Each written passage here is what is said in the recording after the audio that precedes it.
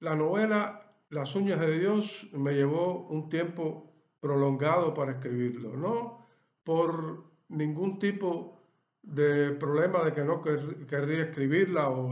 o semejante, sino por mi trabajo que era por años o fue por años y lo es de alguna manera aún de corresponsal de prensa eh, en varios países. Las uñas de Dios, sin embargo, se refiere a un solo país, a Cuba, y se refiere a gente humilde, normal, corriente, que ha vivido eh, por años eh, una situación determinada y han hecho cada cual lo que ha podido o lo que ha debido hacer durante estos, esta situación que se ha prolongado por motivos ajenos a la voluntad de la población cubana. Eh, los cubanos, los personajes que están ahí,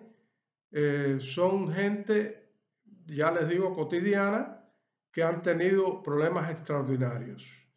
Eh, también hay un punto que yo quisiera reflexionar en esta novela y es que la individualidad de la gente es respetada, la individualidad es respetada por sobre a metas colectivas que se puedan tener si no hay una individualidad fuerte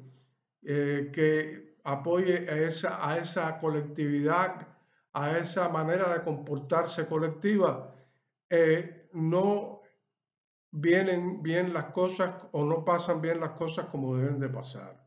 Realmente, de todas maneras, esta novela no es una crítica, no está hecha crítica ni está puesta al servicio ni de opositores, ni oficialistas, ni nada de eso. Es una novela simplemente común, como sus personajes. Muchas gracias.